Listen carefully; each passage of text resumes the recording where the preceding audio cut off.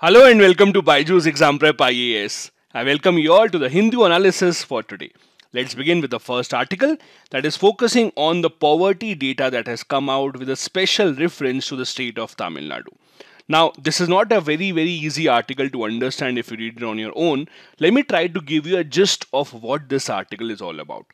So, this article says that the poverty ratio in Tamil Nadu, as per the recent government numbers, has declined considerably from 4.89% to 1.57%. This is the data with respect to multi-dimensional poverty index called the MPI.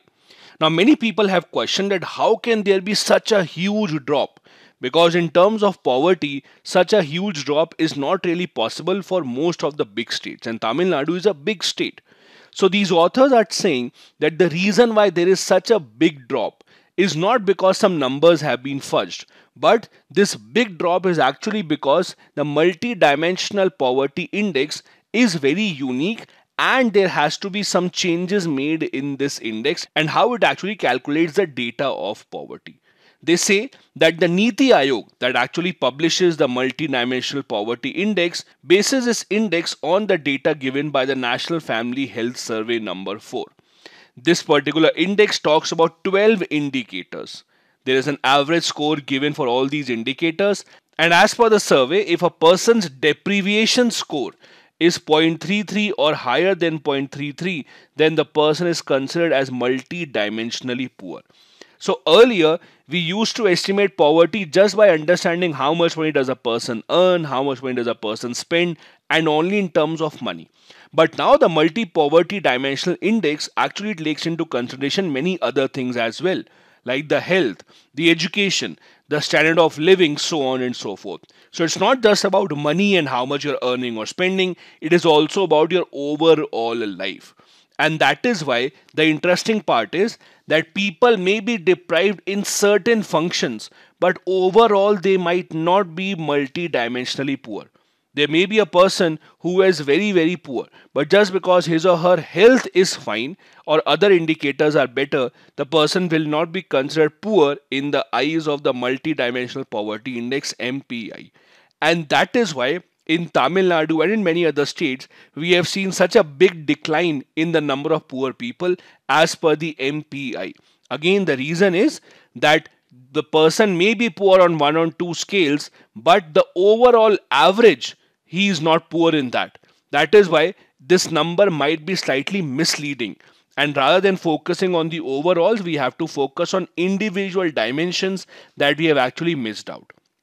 There have been a lot of questions on the data that has been collected by the government agencies, for example, the National Family Health Survey.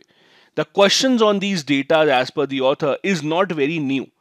The questions on the government's collection of data has been raised since the 1950s. It is true that almost every government that is in power wants to show and wants to publish only that data that makes its own policies look good. So whenever they have a data that does not make them look good, they will never publish that data. They take an example of Tamil Nadu. They say that in terms of Tamil Nadu, there is no reason why poverty should have declined so much. If you look at the pandemic, during the pandemic, the schools were closed, so midday meals were actually not happening. People were getting dry ration which should have led to decline in the nutrition. Similarly, during the lockdown, we saw that a lot of maternal health also declined. We saw that people's school dropout rate increased. We saw people losing their jobs. So, all the factors point out towards the poverty actually should not have declined so much in Tamil Nadu. Then, how did it decline so much is still a question that many people have not been able to find answers towards. This is also one of the proofs that the data collection from the government side, as per the authors, is not correct. Because if you look at the situation on the ground, it does not really tell you that poverty should have declined so much in the past five or six years. The data that we have has not been used properly. The multi-dimensional poverty index, as per the author, is not a great way to identify the poor because the average will be taken and individual parameters are ignored. It's similar to saying that let's say there are five subjects. In four subjects, you all scored 90, 90, 90, 90, but in the fifth subject, you only scored 50 marks. Then your average will still be very high. your average will still be about 82% marks. But it does not tell you the fact that in one of the subjects you are almost about to fail. You will be considered as a good student because you scored very good marks, but you are ignoring the fact that in one of those subjects you did not really score very well. Similar is the case here. As per the author, the multidimensional poverty index takes into consideration the overall average and not really takes into consideration the places where the person might need certain help. Now let me also take this opportunity to share with you how exactly is this multidimensional poverty index calculated. Now what you have to understand is multidimensional poverty index or MPI is actually a global index that is published by UNDP, United Nations Development Program. Its own version is published in India also by the Niti Aayog. So there is an international MPI also and there is an Indian also. The global MPI published by UNDP has ranked India at 66th place out of the 109 nations. I'll show you that particular index also in just a bit. But let's first focus on the Indian National Multidimensional Poverty Index given by the Niti Aayog. This takes into consideration three dimensions health, education, and standard of living, which are further divided into a total of 12 indicators such as nutrition, school attendance, years of schooling, drinking water, sanitation, so on and so forth. The data that has been calculated through the MPI is the data of National Family Health Survey number 4 that gives all the data. This is where the questions have been raised. Some highlights of the report are that Bihar has the highest proportion of people which are under the poverty right now. Then we have Jharkhand and UP. Kerala registered the lowest poverty levels in terms of the people who are facing malnourishment, again, Bihar was at the very top. This is the gist of the report of the National MPI published by the Niti Aayog. As you can see here, 51.9% people in Bihar were considered to be multi-dimensionally poor, while Kerala performed the best. This is the other overall average number across the country. These are the 12 indicators housing, assets, having a bank account, electricity, drinking water, sanitation, so on and so forth. So as you can see, poor right now are not just identified on the basis of how much do they earn or how much do they spend. They're identified on the basis of all these indicators that you see here. The international MPI that is published by the UNDP actually takes into consideration these things.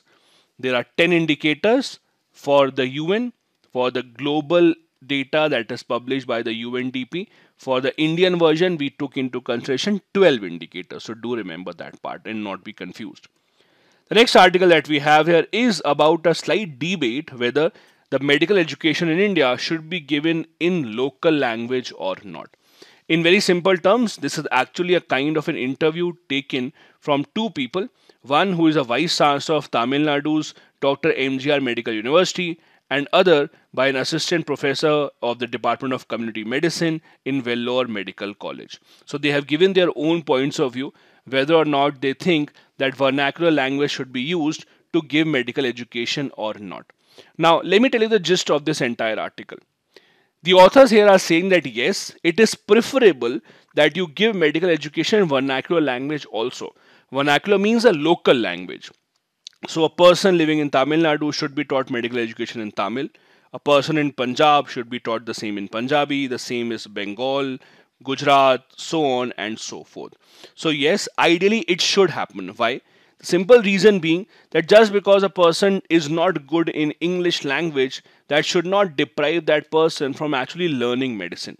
There are various nations across the world that teach their students in the local language. There is Spain, there is Germany, China is also a prime example where all these nations give courses to their students in their own local language.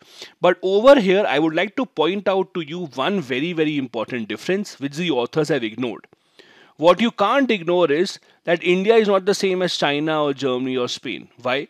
Because even within India, we have so many languages. It is not just about Hindi or English, or it is not just about Tamil or English. For example, you say that a medical college in Tamil Nadu will offer education in Tamil medium. But what if a person from Delhi, what if a person from Mumbai has taken admission in that medical college in Chennai? What would be the situation of that particular person. That is an unresolved problem. It's a unique problem with respect to India. We don't see this problem in Germany, we don't see that in Spain, China, etc. But because India has so many languages within the country, the problem is not just about English or some other language. There are so many languages that there will be discrimination even amongst the students who are Indians only. And that is why there's an added layer of complexity when it comes to India and when it comes to taking decisions whether or not medical education should be given the local language or not. The authors here say that all the medical students in India are guided by the regulations made by the National Medical Commission. And this commission of the government instructs the medium of instruction to be English only. Now, the other view is that the national education policy said that they should promote regional languages, all that is fine, but it's easy to say than actually implement it. Because medical is one of those fields which is connected all across the world. For example, when the vaccine for coronavirus was developed, some of the development was done in India, some of the studies were conducted in Europe, some of it was conducted in US, China, so on and so forth. So when you have to collaborate all these studies, when you want all these studies to be done together, you obviously would prefer all of them to be in one common language. You can't have technical terms be translated into your local language because that will create a huge barrier. Imagine those medical students who were in Ukraine, where they pursued their MBBS there. And then when they come back to India, and if they see that everything that they want to pursue for higher education that is in the local language and not in the English language. So they would now have a problem in translating that. So there are a lot of roadblocks. If you have to really give education the vernacular, you have to start from the very bottom. Midway you cannot change and then also you have to answer that question what happens to people who move within the country from one state to the other state that also is still unresolved in india. There has been certain attempt made in the tamil language for example. The authors here say that a lot of academicians have come together in the field of education and they are compiling certain terms to be translated into the local language. For example in the last few years, 10 to 12,000 of technical terms of medical profession have been translated and standardized and given to Tamil Nadu government. Because they all have to be common. You can't afford that you go to one doctor in Tamil Nadu who actually speaks some other technical term and the other doctor in Tamil Nadu does not understand because he has translated the technical term in some other way. So you have to understand there is has to be a proper vocabulary setup. For example, if a doctor tells you that you have diabetes, every doctor in the world will understand what is diabetes. You don't have to explain it to them. But what if the word diabetes is translated differently in multiple ways in same language? For example, in Tamil you have different versions of the word diabetes, then it would obviously become a problem. That is why you need one standardized explanation and interpretation of these technical terms specifically. Now, this is a summarized version of this article. There are certain challenges in having medical education in the local language, as I said, because India itself is an extremely linguistically diverse country. English has been used as a language for professional competence. Yes, we can move towards vernacular languages also, but that would only have to be introduced from the very basic level and it can never 100% substitute the English language. It may supplement the English language in certain cases. For example, when it comes to talking to the patient, when it comes to explaining to the patients, all that is fine. But if you are in a medical room, in an operation theater, where the doctor is from one state, the nurse is from the other state, the helper is from a third state, then you can't really afford to have conversations in the vernacular language only, and that is what remains an issue. And it's not to say that people who are not good in English can't really get medical education in English. We have seen so many Indian students who go every single year to US, UK, although they are not very good in English, but they actually learn that. So to say that medical education in English is depriving certain students of their rights is not entirely correct. We also have to ensure that teachers also are equipped first before making such a drastic change in the education of medicine we have to ensure that teachers themselves are on the same page about the vernacular language if they have to translate something to the local language before telling it to the students. As I said earlier, also, the National Medical Commission, which actually is responsible for regulating medical education in India last year, that is in September 2021, said that it does not have any plans to allow MBBS course in Hindi or in other regional languages.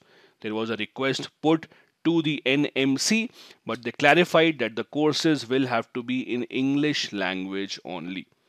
Similarly, doctors also have opposed this in many cases about the idea of offering MBBS in Hindi because this was proposed in the state of Madhya Pradesh. But the doctor said it will be detrimental and irrelevant to change the curriculum language because, again, it's a very technical language. And until you have a common vocabulary for each and every technical term, which is recognized by everyone, it will just create more confusion. The next article that we have here is about the new Criminal Procedure Identification Act of 2022. Now, in very simple terms, in 1920, a law was passed in India. That is 102 years back. The law simply was that if a person is arrested and is given punishment of one year or more than one year, then his or her identification will be taken. That is, the fingerprints will be collected, some other kind of identification, photo, etc., will be taken so that a record is kept of that person so that later on if you are searching for that person if you that person has run away you can identify that person. That was the entire purpose of the 1920 law. That law is now being changed. It is now becoming even stricter in the form of the new 2020 law. The main differences are that number 1 the earlier law had said that if you are arrested for 1 year or more than 1 year only then your identification will be recorded but now the new law says that even if you are charged with any small offense, even if you are charged with, let's say, overspeeding, even then your record will be kept. It's not that your record will only be taken if you are jailed for one year or more.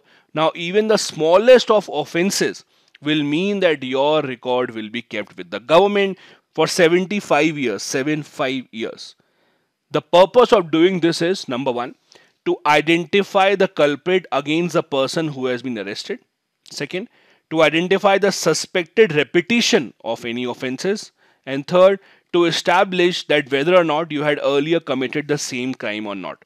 Because what happens is a lot of times the law would say that if you commit the crime once, the punishment is lower. But if you repeat the same crime, the punishment is then higher then how does the judge get to know if you have committed this crime earlier or not? They can do that by checking your fingerprints, by checking these kind of identifications. That is why it was required. The 2022 version is much more stricter because of which people don't like it. Many people are saying that this goes against your right to privacy. Your right to privacy also includes your right to physical privacy. If you don't want to give your details to the government to keep, you should not be forced to do that. But the new 2022 law actually does the same. The Supreme Court also has said in the past that the 1920 law is very, very old and it needs certain changes. However, that doesn't mean that the changes that are introduced should violate your right to privacy. As per the new law, not just fingerprints, but your palm impression will also be taken. Your voice will also be collected, it will be recorded. Also, not just this, it will also include behavioral attributes, meaning how do you behave. It will also analyze you. So it's not just about the physical parameters, it's also about your behavioral attributes that will be recorded, and there is no clarity on that. Secondly, as I said, the earlier law had said that your imprints will only be taken if you are imprisoned for one year or more. But the current law allows a measurement to be taken if you are arrested for any offense, even over speeding and your record will be kept with the government for 75 years. Now, there is one very interesting point in this act. It says that if you are arrested for an offense for which punishment is less than 7 years and the offense is not against women and children, then you have an option as a person who is arrested, you have an option to say no to giving your biological samples.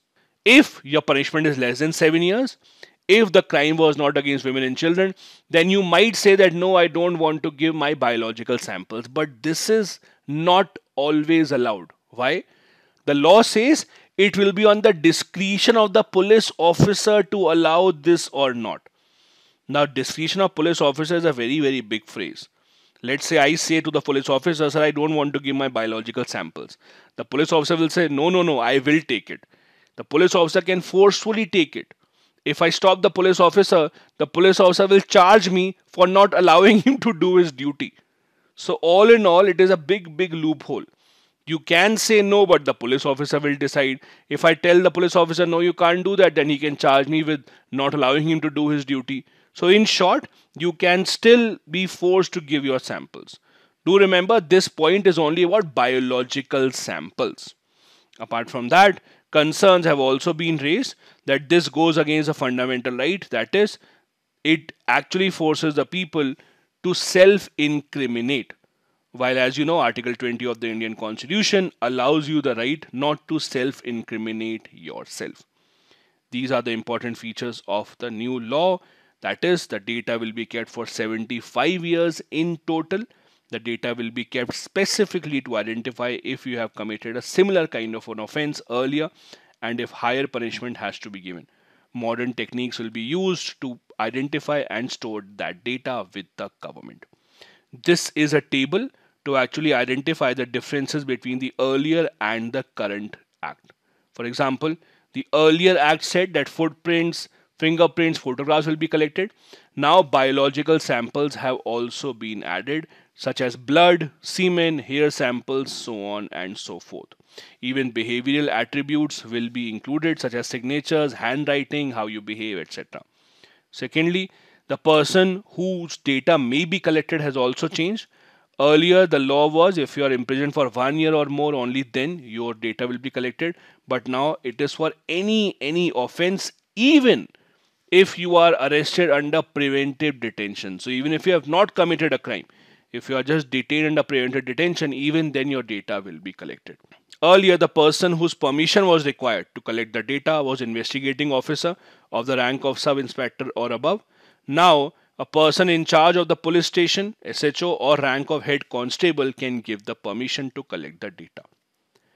The next article that we have is a concerning news from the people who are suffering from the HIV. There have been protests across the country from HIV positive people who have been saying that the drugs that they require for their treatment are not available. We have NACO, that is a National AIDS Control Organization, which is responsible for ensuring the availability of the drugs, the availability of the test for HIV positive people.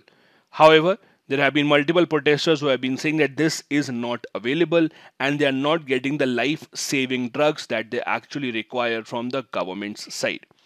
Government obviously has said that that is not the case. In most of the cases, there is no shortage of the drugs. Now, the problem with these kind of issues is diseases such as tuberculosis, HIV, they have a specific dosage. So if your dosage is of 20 tablets and if you eat only 15 or even 18, your entire course will be ruined and you have to start all over again. So if the person needs 11 tablets and the person is only given 6 because there is shortage of tablets and they are dividing it equally, then it is not helping anyone. That is the entire point of this particular protest. The people are saying because the drugs are in short supply, the agencies are actually distributing the drugs in such a manner that everyone gets a few doses. But that is not helping anyone. The protocol is not being followed and the supply of the medicine is restricted. Now, while this particular article might not be of that much importance, but this does give us a chance to understand more about the government's efforts to curtail the spread of HIV and how successful has the government been in doing that. Now, HIV, as you know, stands for Human Immunodeficiency Virus. This is a virus that causes AIDS.